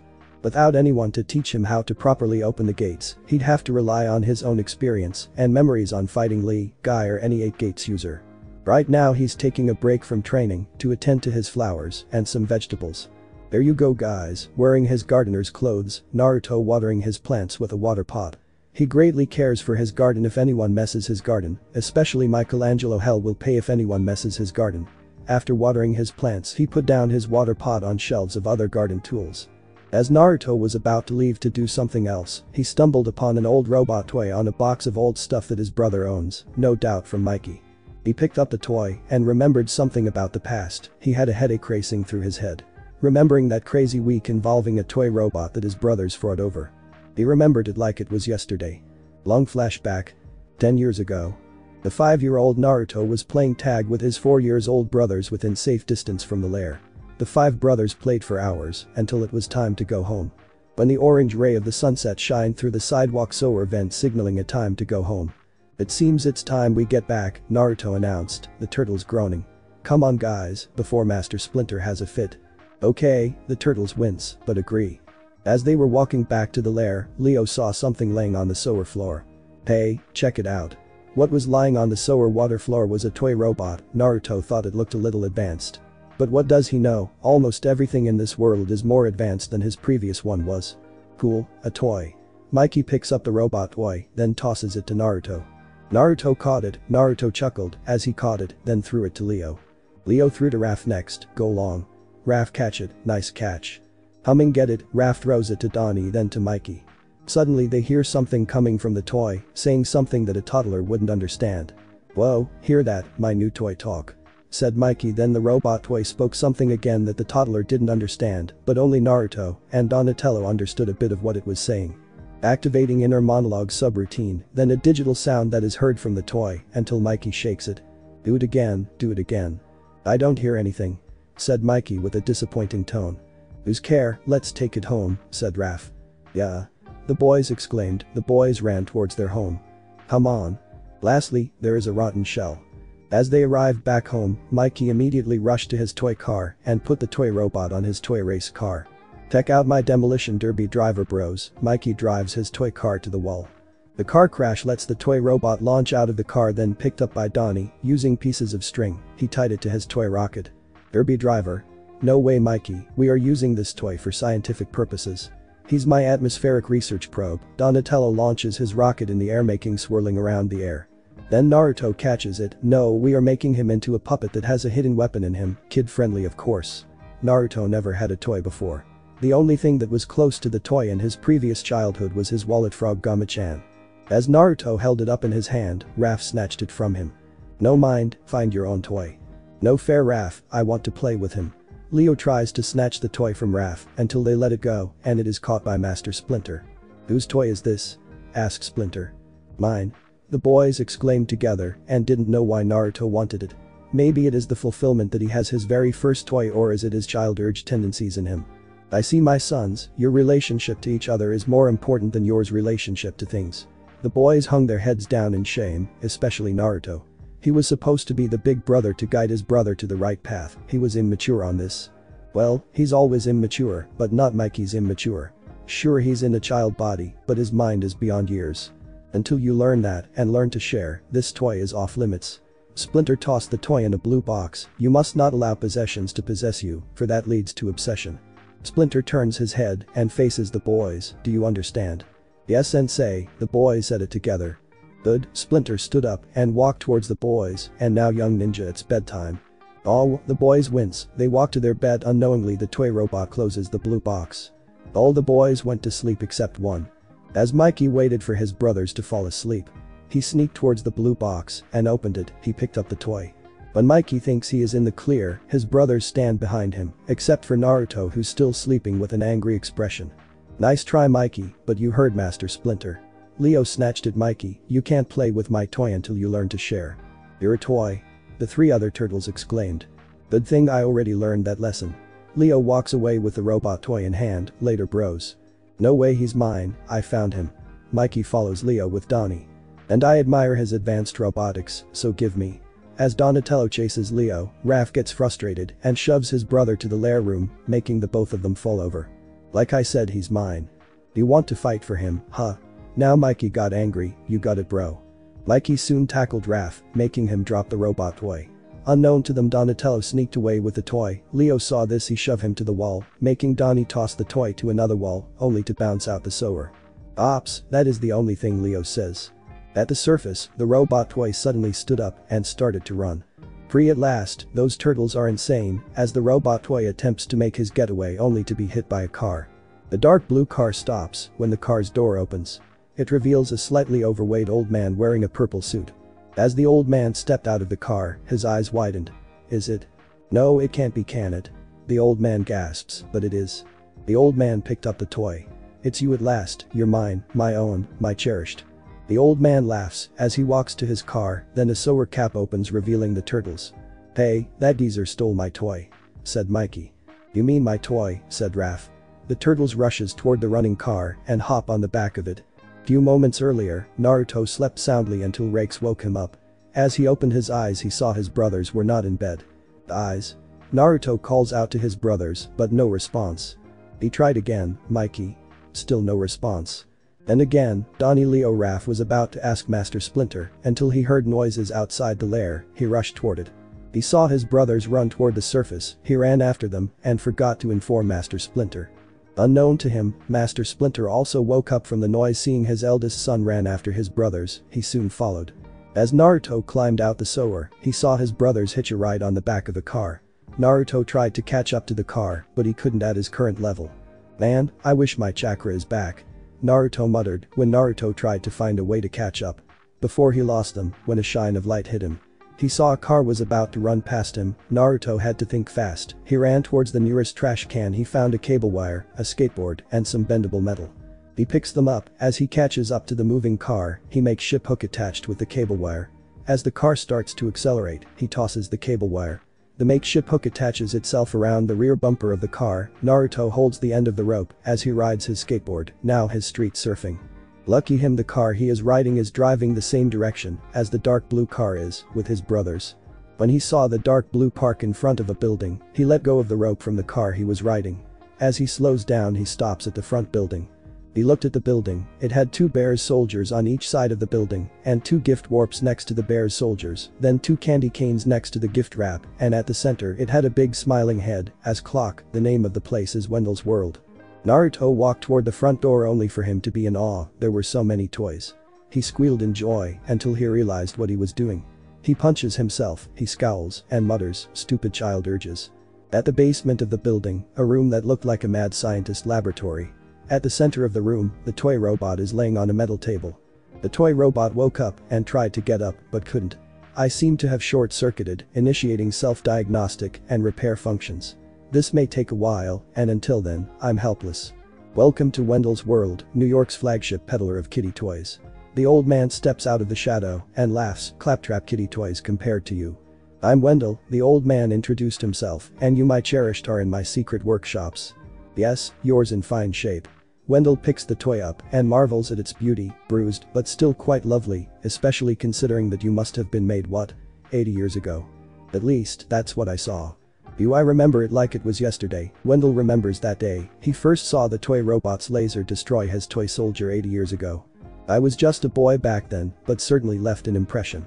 You, the most magnificent toy ever built. As you can see, I have a hard time thinking about letting you go. The destroyed soldier is in a glass casing, now I have you in my hands, time to find out what makes you tick. Wendell pushed the button, the buzzsaw blade started to buzz. No. I'm doomed. The robot toy spoke mentally. Back upstairs, Naruto looks around to find his brothers. When he saw them at last, they had gone down to a secret passage. As Naruto was about to follow them, the turtles got out the secret passage with killer toy robots chasing them. One of the killer toy robots with whip as an arm grabs Mikey's legs and drops the toy robot to the floor, the other turtles grab and pull him away from the killer toy. Naruto's big brother instinct went alert, he quickly grabbed a toy baseball bat on the toy shelf. When the killer toy is about to whip the turtles, Naruto appears in front of them. Naruto! The turtles exclaimed. Naruto hit the robot's arm whip away from them and then he hit it again to let go of Mikey. Making the other turtles stumble back, when they stood up again the killer robot attacked them again. I don't know what is going on. Naruto went to the defense stance, but we talk about it later, after we destroy this robot's rejects. Right. The turtles agree. They charged at the killer toy, and Naruto swung his bat at the toy. Unfortunately some of the robots jump on his back. Naruto dropped his bat, tries to get the toys off his back. Naruto and the turtles got outnumbered, this is pathetic they got beating on toy robots. Hey they're 4 to 5 years old, especially for Naruto, as his physically 5 year old body doesn't do what he wants yet, but his thought this is pathetic, it greatly blows his pride. When this is over, he will surely train harder. Suddenly different toys attack the robot toys and destroy them. Confused about what happened, Mikey made a comment about it. Are we really lucky or is this store haunted? Who cares, now we can get otters here. Said Donnie. What? The turtles gasped turned around, they saw Wendell stand behind them. Leaving so soon the fun just getting started. Wendell laughs as a huge robot toy walks towards them. Destroy, destroy, destroy. The giant robot toy is ready to launch its laser at them. Playtime is over, said Wendell. Destroy, destroy. The giant robot attacks the boys with its laser on the ground, making them hit the ground. I thought toy robots were supposed to be fun, Raph wince, as the giant robot toy about to attack them again. Master Splinter soon appears behind Wendell. Master Splinter. The boys cheer. Hooray. Naruto's eyebrow raised, he swore he heard a voice. You, a talking rat. Wendell spoke in a disgusting tone and shook his head, this city attracts all kinds. Release my sons at once, Splinter demanded. How my Ultrabot blasts you bits instead, the Ultrabot launches its weapon on Splinter, Splinter rushes towards the robot toy and dodge all its attacks. Splinter jumped into the air and kicked the robot's head making it shut down. But when it was about to shut down, it started again. Then attack Master Splinter once more. When Ultrabot was about to attack Master Splinter, Naruto saw the little robot toy jump on the back of the giant robot toy. The little robot toy opened a casing where the batteries are. He took off the battery making the Ultrabot shut down. What? What happened? Why does it stop? Wendell shudder, he saw the battery was on the ground, Master Splinter picked it up and, as he was about to comment, Naruto beat to the punch. Naruto chuckles, runs out of battery. Master Splinter chuckles, he ruffles Naruto's hair making smiles at him. No, Wendell started to kick the Ultra Bot. As Splinter walks towards his other sons, they run toward him and embrace him. Master Splinter. Father. It's good to see you, my sons. Splinter smiles, but turn into disappointment expressions. If I haven't tracked Naruto to this store, who forgot to inform me, Naruto rub his head nervously. I may not see you again. And what worse you reveal yourselves to the surface world, the boy's head hung down in shame. And force me to do it as well. We're sorry sensei, Naruto apologized on behalf of his brothers. I should have stopped them, I failed, as a big brother. When Splinter was about to speak, Leo spoke first. No. Master Splinter, we're the one to blame. The man stole my toy, making us go after our toy. Yeah, and he is crazy in love with it or something. Mikey added to it. Splinter scoffs, and willing to do anything to possess it, I see. For possesses lead to obsession, and obsession knows no bounds. Splinter stood up, I hope you learned a valuable lesson my sons. Yes sensei. Where's the special toy now? Asked Master Splinter. Hey, here it is. We thought we lost it from all the fighting. Donnie picks it up. Donnie stared at it for a moment, then spoke, you know, I don't want it anymore. Yeah, me too. Leo added. The boys turn to Wendell who's sitting on the floor in depression. Donnie walks to him and offers him the toy robot, here you have it. What? Again Naruto heard the voice coming from the toy robot, it is not what a normal toy would say. You're giving it to me, just like that. Wendell questions this. My relationship with my brothers is more important than my relationship with this thing. Stated Donnie, both Naruto and Splinter smile at this. You know I first saw this toy when I was about your age, he it was magnificent and couldn't bear to live without it. If you can let it go, I can too. Wendell smiled. It is kinda ugly looking. Mikey commented. And you smell. Naruto now knows this is not a normal toy, toys never speak like that. Glad you know. It can talk. Yeah. And it's mean. Let's chuck it. Mikey walks toward the trash can, while Wendell holds the trash can bin, Mikey throws it in the trash. I finally free, Wendell sighs in relief, finally free. And don't you worry, I'm an expert keeping things to myself. I wouldn't tell anyone about you or what happened tonight.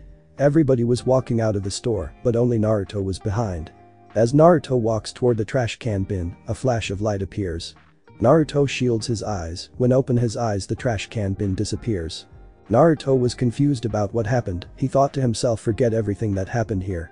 He walked out the store while his family was waiting outside and Naruto smiled and ran towards them. Then flashback. Remembering everything about that night, Naruto got a headache. He shook his head and forgot that night again. Naruto walks out of the room. Weeks pass, Naruto and his brothers are playing a video game on an old arcade machine. The game is called Mortal Kombat, it is an old gen of the game. That was found by Leo and Raph, it was a rundown old arcade machine with a lot of faulty wiring, some broken parts, and a lot of dead animals inside of it while living there. Until Donatello fixed it up, he was working at it for months. Now it was all fixed up, they played for hours. Now for the final battle, Naruto vs Michelangelo. Scorpion vs Sub-Zero. Fight. They have been playing intensely while their brothers cheer them on. Well, only to Naruto. Though Naruto. You almost beat him, Leo cheers. Pick his smelling shell ass. Raph cheers loudly and insults Mikey. Hey. Mikey scowled as he went back to the game. Naruto's HP is only 20%, while Mikey has 50% left. Sub-Zero sends a blast of ice directly towards Scorpion to temporarily freeze him in place for a free hit. Sub-Zero gives out a series of combos after Scorpion breaks his ice prison his turn to attack. Scorpion teleported behind Sub-Zero, connects with a Hellfire Punch, then hit him with a flaming uppercut. Sub-Zero hit the ground then stood up again. He slides across the floor, knocking the opponent off their feet, leaving a trail of ice behind. Scorpion stood up only to Sub-Zero to grab him and freeze him, then Sub-Zero delivered a massive forward punch to the ribs. Naruto only has 5% life, Mikey only 15%. When Mikey was about to make a fatality move, Naruto quickly presses the button for Scorpion to use his famous move. Scorpion sends out a rope with a tipped kunai at the end, it impales itself into the victim's chest, allowing Scorpion to pull him towards him for a free hit, as well as causing a small bit of damage. Dead over here. Scorpion unleashes a series of combos, Mikey only has 5% life left. Naruto went into fatality move, Scorpion tossed his kunai spear at Sub-Zero's head. As the kunai is lodged in it, Scorpion begins to slightly pull on the rope a few times, then pulls one last violent tug that causes Sub-Zero head to break off. The game's shouted. Fatality. Scorpion wins. Naruto and the other three turtles cheer for victory, while Mikey feels miserable with anime tears running down his face. The victory was interrupted with Naruto's worried face. Where is it? Where is it? Naruto ferociously searches for something, as he searches under him his brother's eyes brow raise if they eyes brow. Naruto. What are you looking for? asked Ani. My necklace, of course. Naruto keeps searching, the turtles glance at each other. The necklace you wear? asked Leo. That you never take off. Add Donnie. Ever? Add Mikey useless outburst. What's so special about that necklet anyway? Raph scoff. Naruto glares at him. It is a very special Raph. It is a sign of a promise from years ago. What promise? asked Leo. Naruto looks away, well, it's a promise from a girl. What? The turtles exclaimed. You never told us about this Raph got a bit angry that his brother never told him about it. When will this happen? asked Donnie. Yeah, when? asked Mikey. Well, it was years ago. Naruto rubs his head nervously, I'm not sure you guys remember it. So how many years ago was it? asked Leo. Well, it started when Naruto began his story. Long flashback. Naruto Pav. 11 years ago. It has been 13 years, I was found by Master Splinter. He told me he found me somewhere in the sewer. He gathered supplies until he found me and brought me home, he raised me, and you guys of course. Two years pass, I grew up with you guys. When Splinter said we're going on a trip, I asked why. He told me, is something personal. At first I was suspicious until I saw him carry a vase, I don't know why Master Splinter carried such a heavy vase. We were supposed to be stealthy, why carry such a heavy object? Shouldn't we carry light? I asked him why we carry a vase. What was in it? He answered memories. I raised my brow, I thought to myself. Is it something to do about his past? When Master Splinter was gone I looked inside the vase. Interruption by Mikey. What is it? asked Mikey innocently. I was about to until you interrupted me, Naruto glares at Mikey. So, what's in it? The other turtle's face was palmed. Ashes, Naruto answers blankly. Ashes? The turtles questioned. Yes ashes, it turns out it is the ashes of a dear friend of Master Splinter. Naruto answers, he didn't tell me who his friend was, he just told me he was family.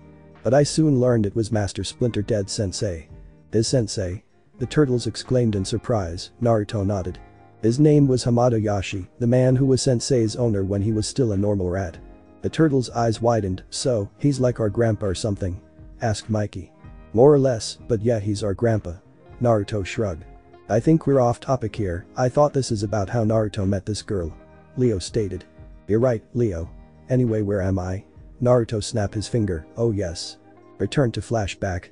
Anyway, in the morning we stowed away on a ship that headed to Japan. Never been to Japan before, but I heard people are like me, except for the blonde hair and blue eyes. After we arrived at the dock when we exited the ship, we started to find the Ancient One. Interrupted by Mikey again. Ancient One? Is he some kind of warrior? Asked Mikey excitedly, maybe he teaches us how to carry power within us. Like, like, like how to fuse two energies into one, making us walk on walls, walk on water control the elements. Naruto stared at Mikey with a blank expression and a twitchy eye.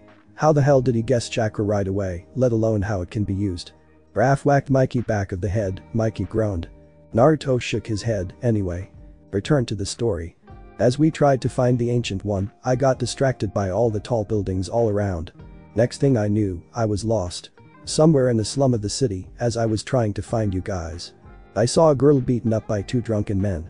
The girl was one or two years older than me, she had black raven hair, pale skin, and a skinny frame. You can't blame her, she looks like she hasn't eaten in days. Tado. And Ottawa Gakam Dismte Sarit Irupanku. Hey. You punk are supposed at school. Asked the man in a drunken state. Un, yeah, the other man agreed, Watashi wa anadagaamu, ananoko wa basanak ribanararai to amamasuka. I think the girl must be punished, do you think?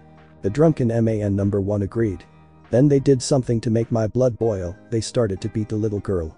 She crouched down, as they kicked her. I quickly rushed towards them then I leaped, and I flying kicked one of the man's face. Dynamic enter plus, dynamic entry.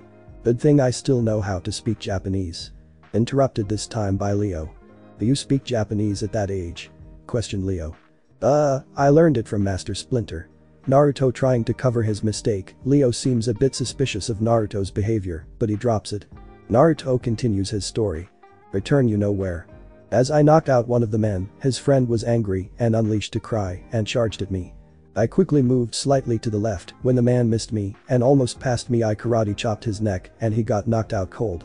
After that, I walked up to the girl who was shivering a bit in fear. I approach her carefully without scaring her away. Then, Sorwa Dejimbu, Warihito wa Imanakinadaru. Hey, it's okay, the bad men are gone now. I try to calm her down. As she opened her eyes, I saw sorrow and fear in her green eyes, I gently wiped her tears away. I pulled out my hand and she got up, as she stood we heard a growl. I look around where the sound came from when I turn my attention to her. She looked away and blushed then another growl sound again, it was her stomach. When I process what happened, I immediately chuckle. Irikaga uid iru im naimieru, seems someone is hungry, Naruto smiled, and the girl nodded. Guru come, I grab her arm and drag her out of the alleyway, lucky for us we found a ramen stand. As I use my cute little kid charm on the owner's stand, he caves in and gives us two free miso ramen bowls. I started to eat, but the girl simply stared at her food and tears ran down her cheeks. O anada wan, watashi wa anada no tame no machigata ramen o arabu nadesu ka. Hey you okay, did I pick the wrong ramen for you? I was worried that I would upset her. But shook in reply, she snapped her chalk stick and started to eat the ramen faster than I ever could. When she turns to look at me she gives a beautiful smile. Interrupted by Naruto's brothers snickering at him. Shut up. Naruto looks away and blushes. His brother chuckles while Raph and Mikey make kissing noises, Naruto glares at them and returns to his story. You know what is already. I smiled at her back after we had our fill. I promised the ramen stand owner I would pay him someday, but the old man declined it. He smiled at both of us, he gave me a thumbs up, making me confused. By the time we were out of sight of the ramen stand, I saw Master Splinter standing in the shadows with a stern look. I sigh and turn to the girl, who keeps smiling at me.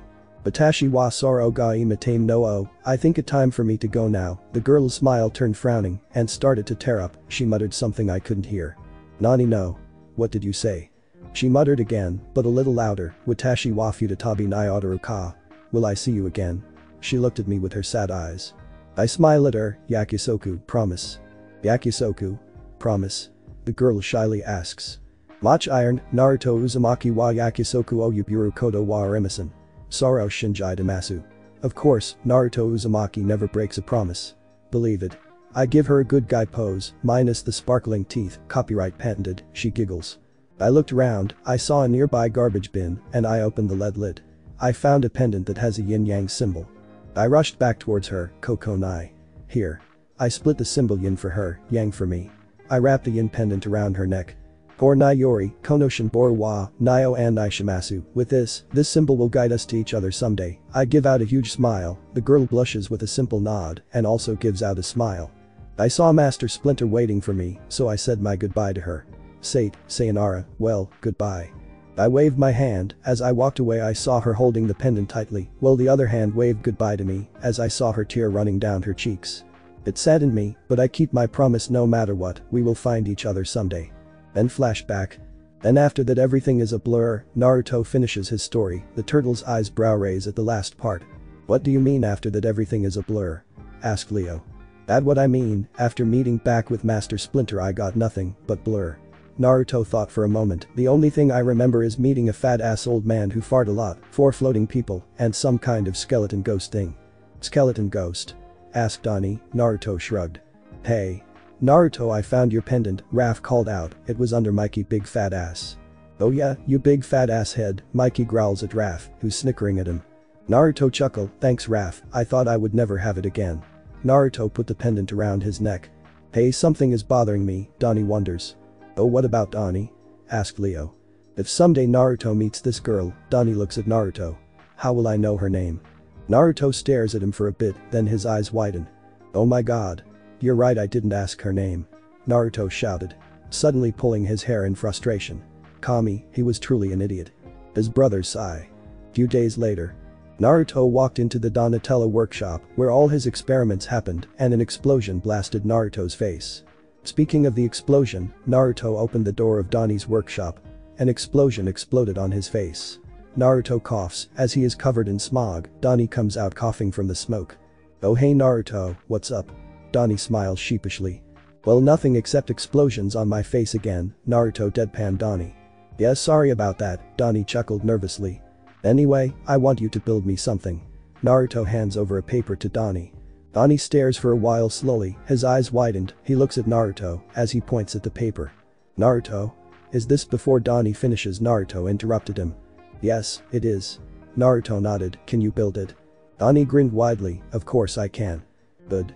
New York's one of the busiest cities in the world and a city that never sleeps with tall buildings and skyscrapers shining through the moonlit sky. Underneath the city, deep into the sewer, where our five ninja heroes live. You can see five ninja students face off to their master teaching them the way of the ninja. Remember to be a true ninja you must become one with the shadows. Darkness gives ninja power, while light reveals the ninja presence. Said Master Splinter, as he held his walking cane with a lighted candle at the tip of his cane. Now try to extinguish this flame without revealing yourselves. As he flipped the candle with his walking cane without burning out the flame and caught it with his paw.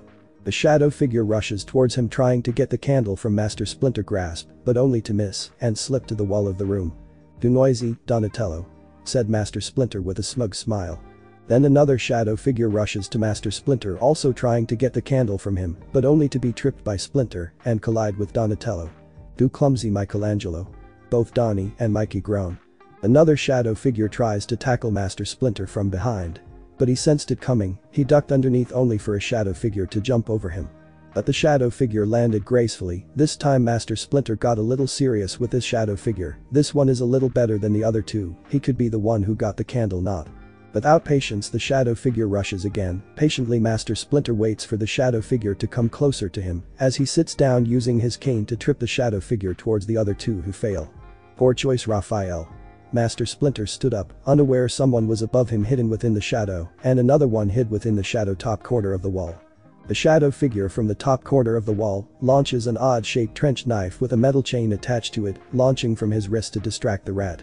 The one from above took this opportunity to jump out his hiding spot and horizontally slashed the candle in two from Master Splinter's paw only landed on his blade, leaving the flame still on, he blew the flame out.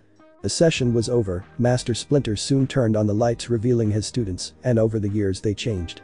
Donatello or Donnie are the brain, the second tallest and smartest of the brothers, and little bit scrawny of the four, his intelligence increased over the years his IQ is over 600, it true. He always liked building gadgets in his lab that tend to explode on Naruto's face when he visits his lab. His skin is brownish green or tea green, his eyes are brownish red, he wears a purple bandana, and his weapon of choice is a bow staff, which can transform into Naginata by pressing a switch somewhere on his staff. I feel like I need to reintroduce them with a little more detail. Michelangelo or Mikey or just the Mikey, the youngest, goofiest, and slightly shorter than his brothers, he's still immature. He loves pizza, comics, cooking, pranks like Naruto, and annoys Raph to an extent. His skin is forest green, his eyes are baby blues like Naruto, he wears an orange bandana, and his weapon of choice is an nunchaku, which can transform into Kusarigama that have hidden blades within the nunchaku. Next is Raphael or Raffer the rebel, the toughest, and the hot-headed of the brothers, need anger management, and overprotecting to his brothers, secretly. He loves napping, beating someone up, his pet turtle named Spike who he found two years ago, oh the irony, and who's also watching them training at the corner of the room, and challenges Leo and Naruto. Is slightly bulkier of the five brothers, on his shell, a lightning bolt shaped crack missing chunk on the right corner of his plastron, he probably got it when he was a baby turtle, as it was there during his mutation. His skin is dark green, his eyes are green, he wears a red bandana, and his weapon of choice is a sai. Next is Leonardo or Leo, the leader and second most skilled of the brothers, sometimes doubtful of leadership skill. He loves training, sometimes watching a TV show called Space Heroes, and spending time with his father Master Splinter.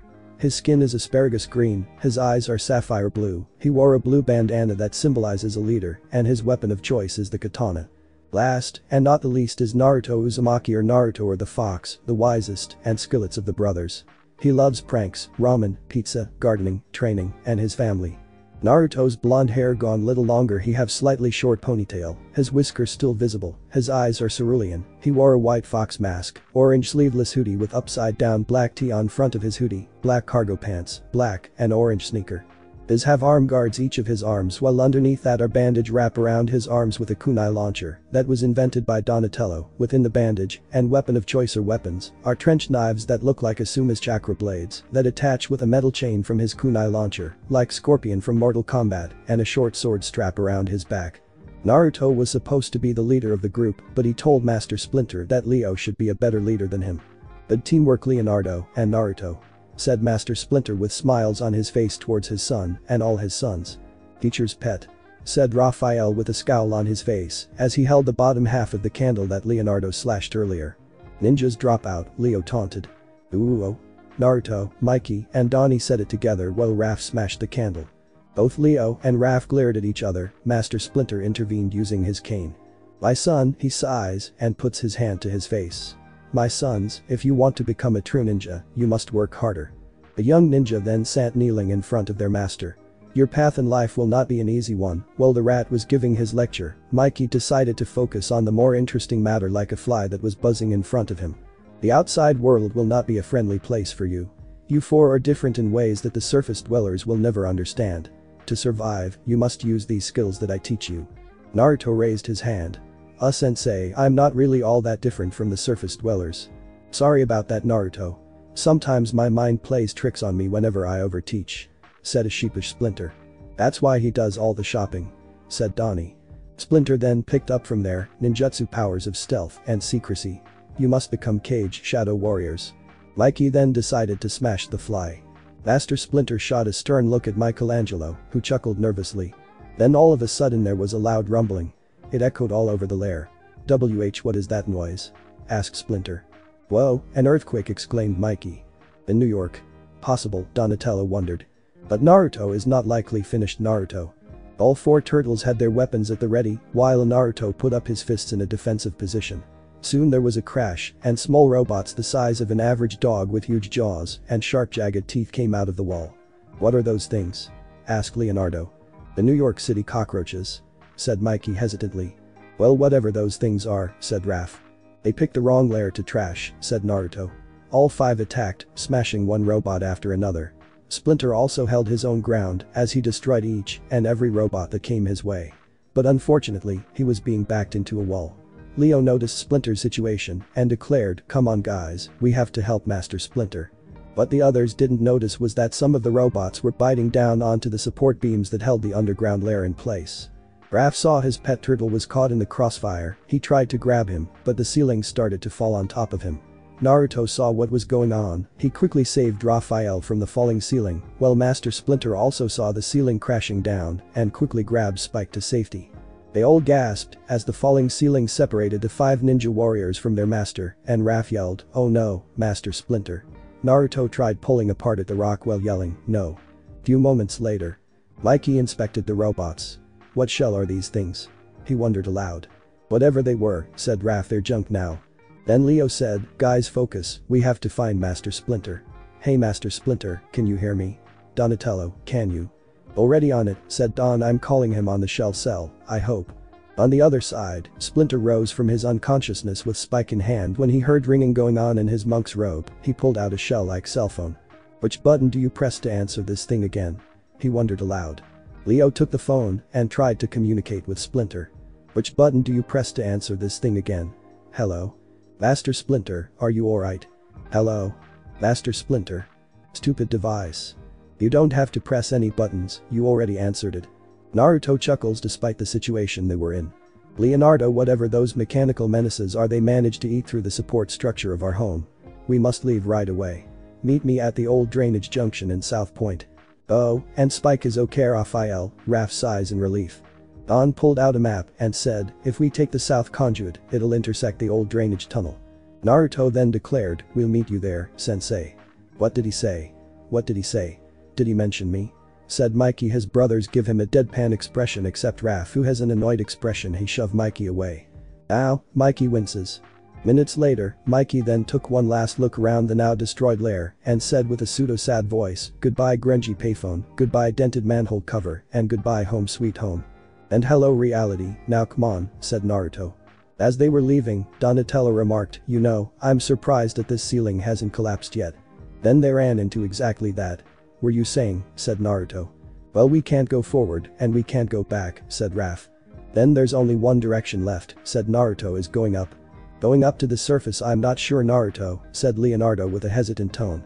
Come on Mr. Leader, remarked Raph, we have no other way to go, so I suggest I lead us up. Alright, said Leonardo we'll go up, but only to go down another manhole. No fooling around, remember what sensei said. Blah, blah, blah, said Michelangelo let's just go up. We heard it a thousand times Leo, just follow my lead, said Raph. They went in a single file line. Raph, Leo, Mikey, Naruto, and Don. Raph pushed the manhole up and immediately leapt out. Leo was a bit more cautious, but Mikey said, come on Leo move it. I don't want to stare at your butt any longer than I have to. Oh like yours is any better Mikey. Shouted Naruto. Eyes, shush, said Leo, as a moved scouter approached. They immediately hide into the manhole except Raph he hides into the shadow, as the scouter passes by, Raph immediately leapt to a light post, then spotted a manhole cover not too far away. But, as soon as he was almost there, an armored truck parked right above it. Just great, muttered Raph, as the people in the truck left, the all turtle luck work in true to form. He then kicked the truck on its side. Way to be stealthy Raph, said Leo. Yeah, exclaimed both Naruto and Mikey in terrible Jersey accents, I don't think they heard you over in Jersey. Both Naruto and Mikey glance at each other and grin at each other. Give me a hand, said Raph. Mikey then lifted his arms. Don't think about it wise guy, forget you guys I'll push it myself, said Raph. While Raph was trying to move the truck, voices could be heard coming closer to the door. Raph had no choice but to hide inside the armored truck just as a couple of thugs exited the building with a sack full of money. The thugs threw the sack inside the truck and shut its doors, trapping Raphael inside. Naruto's face palmed while also groaning, Donnie and Leo did the same things, while Mikey commented, poor choice Raphael. As the truck leaves, the turtles and a human step out from the shadow. Oh man, said Leo. Imagine their surprise when they open the back of that truck. Said Mikey. This was just what Master Splinter warned us about. Leo remarked. So what are we waiting for? Let's go recuse him. Naruto declares. Well then, the last one up on the roof hatched from a rotten egg, said Donatello leapt onto the rooftop following the truck. The others jumped up with ease, and son Naruto was in the lead. Hey no fair Naruto, you know you can jump better than the rest of us, said Donatello. It's called practice Donnie, try it sometime, exclaimed Naruto.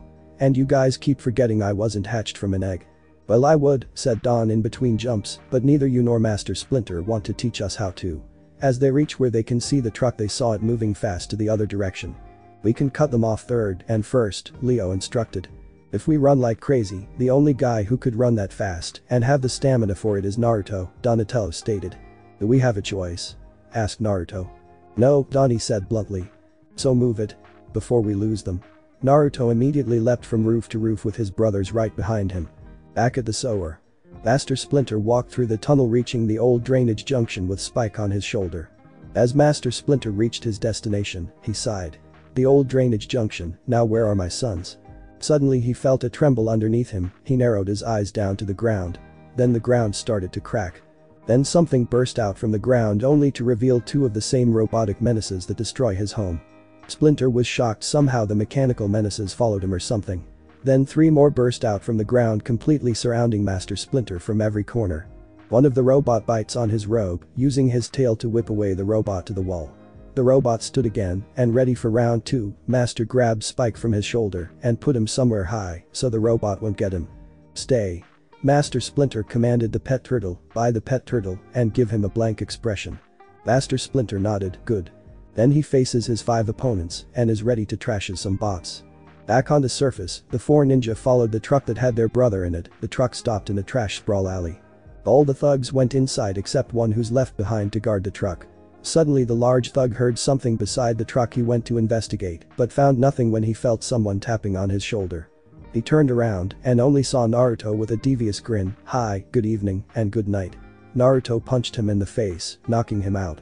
Nice work, Naruto said Leo, Naruto gave Leo a thumbs up. Now let's get Raph out of there. Man, whatever happens to good old-fashioned padlocks, said Mikey. Donnie chuckle, where's the fun in that? This one is all mine. He pulled out two screwdrivers from his bag and started work on the lock. Raphael said something, but they couldn't hear him, Mikey started to make fun of Raph. But that Raphael you have to speak up dude, I can't hear you. Raphael got frustrated and kicked the door as hard as he could. Okay I hear that. I'm trying to work here, said Donnie. Few moments later. At last Donnie finally unlocked the door, hey we'll come back bro.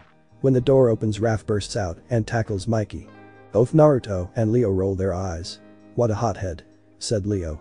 They were about to break them apart until Naruto sensed something behind them at the same time Leo and Donatello turned around. Three of them went to their defensive position and were ready to unsheathe their weapons. Ah guys you should stop now, said Naruto as he pulled his mask down. And why not? asked Raph as he held against the wall. Before Naruto answers, Mikey beats him to it because we're not alone. Raph let go of Mikey and faced several shadows approaching them. Look at the freak. What's with the dweeby costumes? This isn't Halloween. The thugs from before, but with greater numbers, they surround the human and the turtles. The leader then stepped forward and issued a challenge, you're going down freak, nobody messes with the purple dragons. Especially wearing stupid turtle and some kind of fox mask costume. Sorry pal, but you're wrong. Replied Naruto with a smirk. These aren't costumes. All four turtles took out their weapons, while Naruto's trench knives launched out from under his wrist. All of them charge at the thugs with collective cry, Kaya. In a stance all the thugs are beaten like dominoes, landed on top of one another. After they got beaten the leader stood up and ran away. Let's get out of here. His lackeys follow running, as fast as they can. Give me some green, Mikey high-five both Naruto and Raph. That was a little easier than I thought. Said Donatello sheepishly. I was wishing for more of those guys, said Raph. I just warmed up. Well don't look now, your wish just came true Raph, exclaimed Naruto, as pointing at the rooftop. Several shadows appeared, but unlike those thugs, they appear to be something familiar to them. Are those guys ninjas? Asked Leo, as the enemy ninjas dived down to surround them again. Get ready guys, said Naruto, as he put on his defensive position. I'm going to enjoy this, said Raph with a grin. All of them attack. Donatello leapt over five of his opponents and spun his staff, landing them to the ground. Donnie smiled for his small victory, but it was cut short, the ninja he took down immediately stood up. Other side of the battle, Raphael took three of them. They surround him with a series of attacks, while Raph comments on their attacks. Nice dragon kick. Sweet double phoenix punch. Hi, you know this one. Raph spin kicked all of them. Next battle, Leo clashed swords with his opponent, they pushed each other until Leo got the upper hand and the ninja stumbled down. Then Leo jumps up to the roof, one of the ninjas also jumps to the roof and the wall runs to Leo. As they clashed swords, the ninja landed on the left side of Leo, while another one jumped to the roof and landed on the other side of Leo. Two attacks Leo defend, two of them clashing their blades. Next battle Naruto easily overwhelms six of his opponents, three of them clash swords with Naruto's trench knives. He deflects all theirs attacks, then he swipe kick them making them fall to the ground hard, then three others ninja throws numbers of shuriken at him, Naruto quickly dodged them, as he approached them with great speed he kneel kick one of the ninjas under the chin, then quickly turn to the other one to deliver devastating punch to the gut. Last one was a little far off from Naruto's reach, he quickly grabbed one of his trench knife chains, making it pull back inside the device under his wrist. Then Naruto lifts his arm, then launches the trench knife from his wrist. Get over here. The trench knife went through the ninja's shoulder and got pulled towards Naruto. Don't worry, I didn't hit anything important. Said Naruto before he punched him hard on the face. Next battle Mikey tries to defend himself from a ninja with Tonfa as a weapon, then another ninja jumps behind him with also Tonfa as a weapon, both attacking him from both sides. Back to Donatello, two ninjas throw a shuriken from each of them to Donnie. Donatello shields himself from the two shuriken using his staff, as he shields himself from one ninja flying kick him, making Donatello hit the truck from behind, and Mikey flying toward the truck. Don, have we beaten them or they beaten us? asked Mikey, as Donnie was about to answer, he quickly opened the door of the truck and pulled Mikey inside and shut the door before they became turtle Swiss cheese from a number of shuriken. Ask me again when we're winning, Mikey. Yeah, that's what I thought. Back at the sewer, Master Splinter is fighting his own battle. Two of the robots were approaching the rat and jumped towards him, Master Splinter swung his walking cane and destroyed the robots. Then another one jumps from behind with a crying screech because it so noises Master Splinter quickly swings his cane at it and destroys it. His battle is over seeing all the robots are destroyed, he grabs Spike from his hiding place. Then suddenly the ground started to crumble underneath them, they both fell into it. Fortunately both are okay with minor injury, they landed deeper inside the sewer. The okay Spike? Asked Splinter to the pet turtle who slowly nodded. Master Splinter stood up and started walking to find his sons, but suddenly Master Splinter found something amazing. Back at the surface, the team got their butts handed to them. More and more ninjas keep coming. RRGH, how many of these goons do we have to beat till they get the hint? Raph groans. Really, they just keep on coming, said Michelangelo. Donnie? Waiting for plan B here. Exclaimed Naruto. Almost had it, said Don, as he was hot wiring the truck. As the engine roared to life Donnie yelled, alright, next stop. Anywhere, but here. Leonardo had to hold Raph back as he said, come on we're going. All them jump inside the back of the truck Mikey, being the last one in, shut the doors. They drove away erratically driving, nice driving Don with a turtle with no license, said Mikey with a sarcastic tone. Hey you want pretty or you want effective? Remarked Donatello. I gotta tell ya, this has been one mando day, said Mikey. First those weird metal robots dig underground, then, What's with all those ninjas? Ninjas in New York City besides us, it's just not right. Talk about not right, said Raphael, as he opened the sack full of money, just take a look at this. Show me the money baby, wahoo. Shouted Mikey. This isn't finders keepers Mikey, said Naruto, taking the wad of cash that Mikey just picked up. Donnie stopped by a police car. Leonardo then rolled down the window, threw the sack of money out on the police car's front hood, and yelled out, here, take care of the money will ya? Did you see that some little green men, and one with a fox mask in an armored car, just threw a bunch of money at us? Said the young officer. Rookie. Said the older officer. Don then drove the armored truck through an abandoned sewer entrance, which would lead to their destination. The old drainage junction at South Point. There they found Master Splinter surrounded by broken and smashed robots, which he took on earlier. They all cried out in joy. Master Splinter. You're alright. Father Dad. Sensei, Yes, well I am glad to see you two my sons, said Master Splinter. Master so much has happened today, said Leo. Yes, yes, there will be time to tell me all about it later Leonardo. But first, I wish to take you all home, said Master Splinter. Home? wondered Naruto.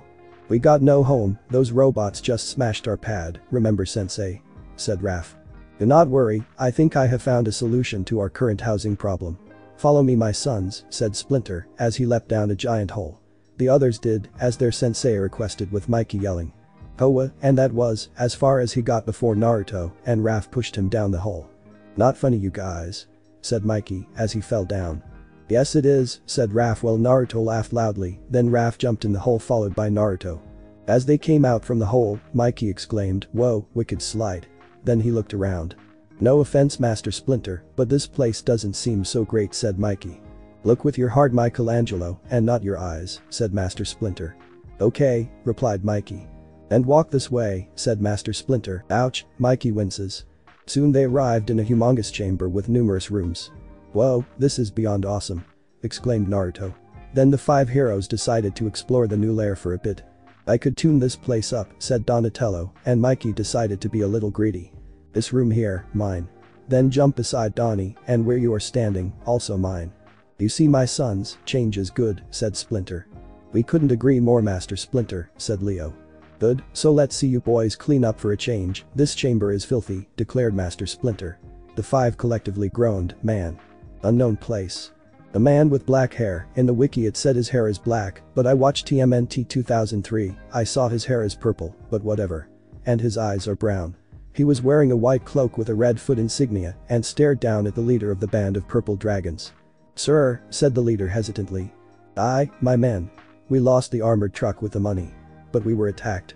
By some sort of karate frog creature and a guy in an orange hoodie with white fox mask and they took us by surprise. It wasn't my fault. Enough, said the man. I promise sir, I won't fail you again said the leader. I know, said the man quietly you won't fail me again, ever. No sir, please. Followed by maniacally laughing. The end. Thanks for watching my video and make sure to check out the author of this fanfic, link is in the description, see you next time, till then sayonara.